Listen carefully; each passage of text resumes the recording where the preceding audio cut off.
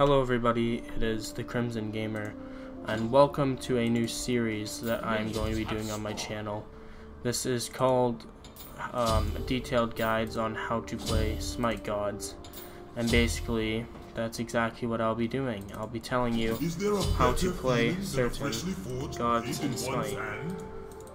And as you can see right now, I'm just doing a random build, but in the first place, I'm going to be doing this video on Raijin, the newest god in the not the newest added god in the Smite. So what I'm going to be showing in this video is all of his moves, um, a guide on how to play him, and probably the best way to use him. So as you can see here, I'm in a jungle practice. I'm leveling him up. So I'm able to get all of my moves at once and get my second relic, which will be a sprint. And now I can power up all of my moves. And now proceed to the robot. So Raijin is the newest addition to Smite. He is a Japanese mage god. He's similar to Zhong Kui, who happens to be really large but has the capabilities of a mage.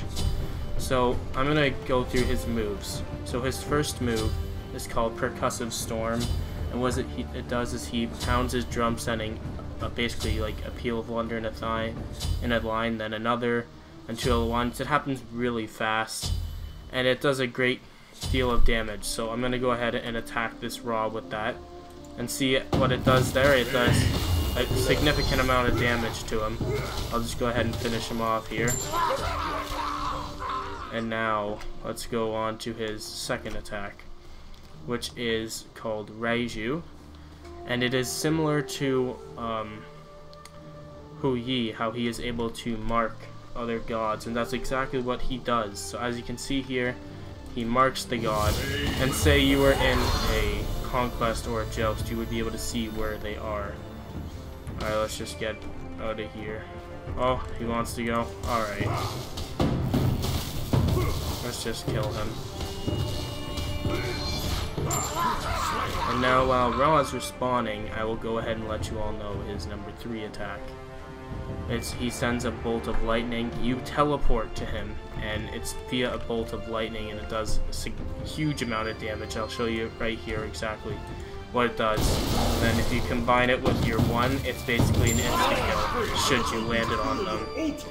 And now the next move I would like to show you is Raijin's ultimate, so his number 4. And what that does is it's very similar to Chiron's ultimate. He will jump into the air and he will perform a series of attacks with his drumsticks. So let's just get started on that. See, as you can see, a lot of damage done for that ultimate. Basically an insta-kill, because you could see he had barely any health left after I did that. So now that you know the purposes all four of his moves, I'm going to show you basically a couple rounds of me killing Ra with him and so you can see exactly what this guy can do. So as I said, I will combine the one with the two, and which does a lot of damage. I just happen to miss. This normally would have insta-killed him. And then you can see his two, which marks, which really doesn't really have a use in jungle practice, but Normally, it would. Let's go a couple more kills, and then we'll do next.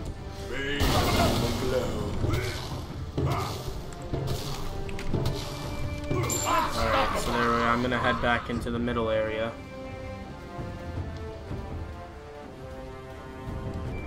Now in regards to builds, since he is a mage, you're going to want to do probably mostly a powerful and less defensive of a build because he can he has somewhat abilities of a tank where he has a significant amount of health. Me, I just did a default build. I had Shoes of Focus, Rod of Tahuti, Chronos' Pendant, Obsidian Shard, Bancroft's Talon, and Spirit of the Magus. I should probably replace this and instead purchase Book of Thoth because usually with mages you'd like to build stacks to get them to their full out power potential, along with, should you have enough money at the time, go ahead and get the Elixir of Power, along with the potion of magical might, which will basically max out your power with Raijin, and as a mage, he will do a lot of damage. So let me just show you exactly what this build can do with the elixirs and potions equipped. It will do a significant amount of damage. Uh, a lot of damage, to be honest with you. So let's go ahead and just dive in. And I'm only going to basic attack him for this one. And see how much damage it did there. Yet with the potions, the alt should be an insta-kill. Not an insta-kill exactly, but yeah, see, it does a lot more damage with the potions. It basically maxes out your power. So I'm going to go ahead and kill this Ra a couple more times with Raijin, and then that's basically the end of the guide. And if there's anything I missed or there's anything you'd like me to improve on, please, I indulge you to let me know in the comments section below. And holy crap, I just got ulted, but as you can see, since I was on the receiving end of it, it didn't do as much because of the build I have. This isn't the recommended build, but this is probably for amateurs. But those who want to completely master Raijin probably have their own personal builds that work well. But for those starting off, I recommend using the build I have here. But relics, you can really use whatever you want. I prefer using Blink because it's good for a mage to have a getaway and just blink in and use their alts and just do all their damage.